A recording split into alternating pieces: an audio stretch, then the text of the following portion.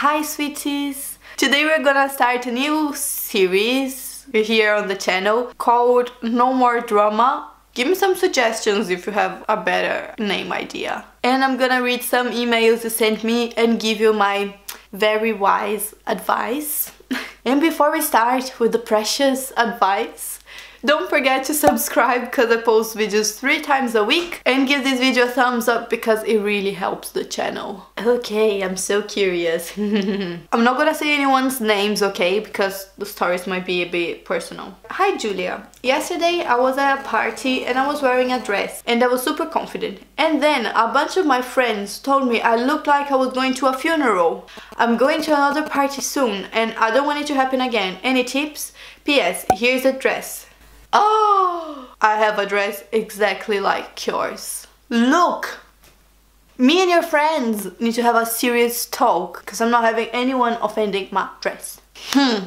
So, the thing is, I'm pansexual and I have homophobic parents. All I want is them to accept me when I come out. I'm sure I'm gonna wait really long because I'm only 15 and they could kick me out.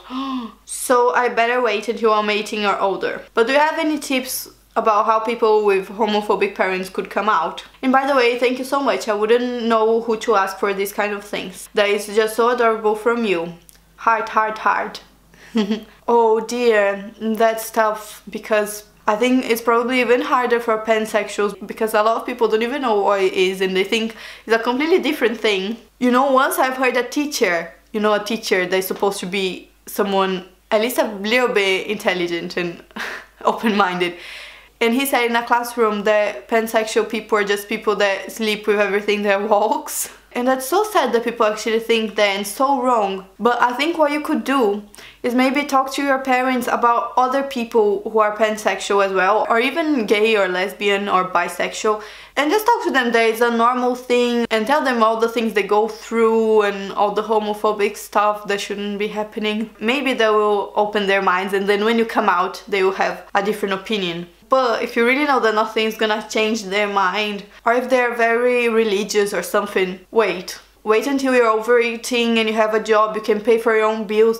Because if something goes wrong, you can always support yourself and live on your own. Because I don't want them to be repressing you or locking you in the house or something.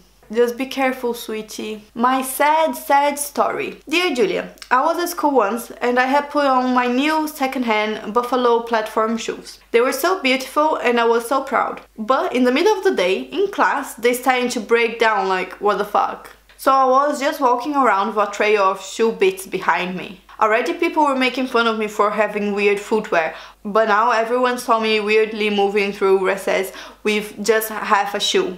I had to call my mom and she brought me something to replace my buffaloes that I had bought the day before for like 5 euros. I was so sad and I'm still looking for affordable cool platform shoes. Do you have any ideas? P.S. I am still traumatized by this story. And remember, kids, test something before you buy it if you want to escape the embarrassment. Wow. If it was me, I would be so sad as well, my new shoes. I don't know, because I just buy cheap shit as well. Mm, but maybe next time you buy a cheap pair of shoes or anything, you wear it once like at home for a day or something to see if they are alright and then you wear it at school or somewhere important. This way, if it goes wrong, nobody will know.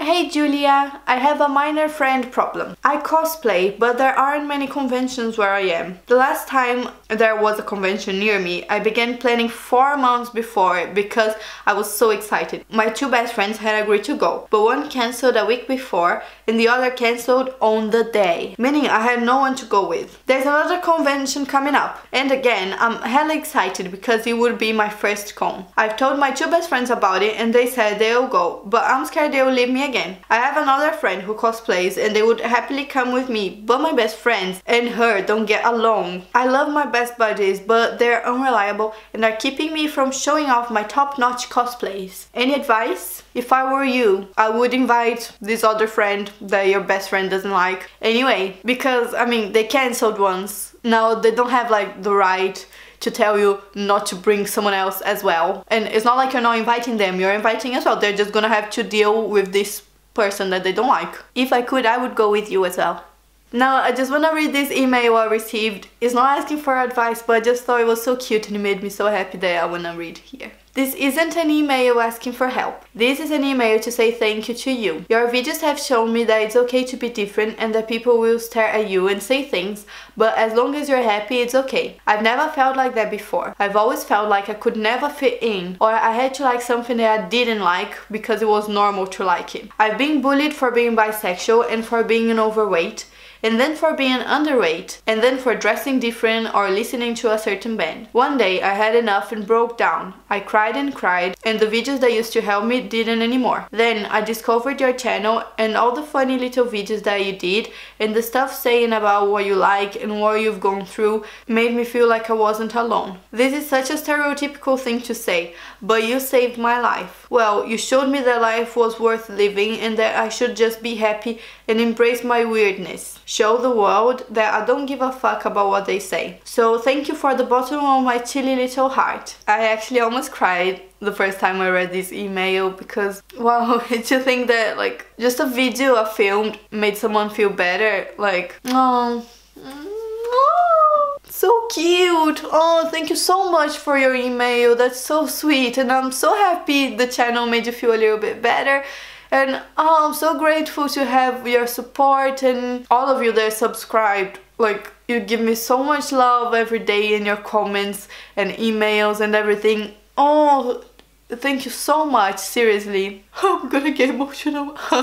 Okay, that was it for today. If you want some amazing advice, send your story to Julia No More Drama at outlook.com and tell me in the comments if you liked it, if you want me to do more of those or not. If you want, follow me on the social media. Thank you so much for watching. Have a very, very lovely day. Mwah!